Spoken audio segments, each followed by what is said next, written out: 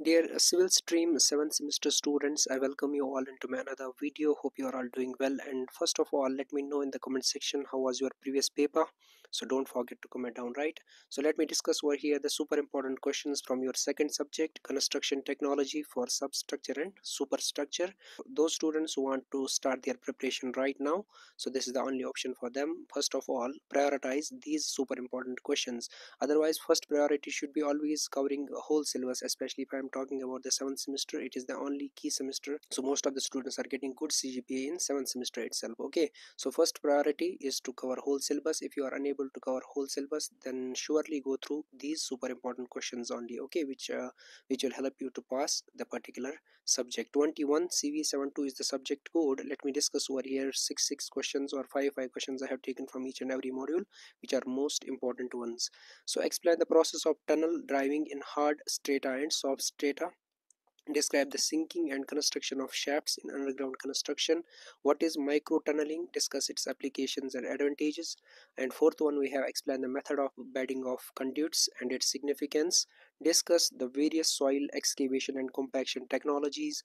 Discuss the importance of soil compaction in underground construction. So these six are super important one from the module first. Next one we have module second what are the problems encountered in underwater excavation? How are they resolved? Explain the process of underwater drilling and blasting. Describe the methods of jet grouting and chemical grouting in soft and hard soils discuss the dewatering techniques in shallow and deep excavations. Last question from the module second is explain the working principle and applications of the well point system in dewatering. Coming to the model third we are having here explain the types and erection methods of shuttering for concrete structures. Describe the operation and erection process of a ready mix concrete plant. What is pumped concrete and explain its applications and advantages. Discuss the tremie method of underwater concreting and its procedure and define self-compacting concrete SCC and explain its properties and uses. So these are the five questions from your model third. Now coming to the model four, we are having differentiate between bored piles and driven piles. Explain the construction details of precast piles pre-stressed piles and friction piles. Third one we have described the process and significance of the integrity test on piles.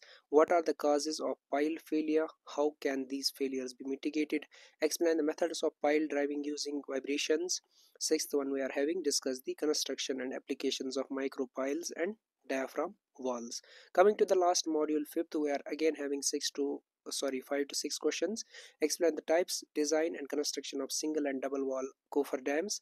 What are sheet pile coffer dams? Discuss their construction and uses. Describe the icos method of coffer dam construction. Explain the types of caissons and their applications in constructions right?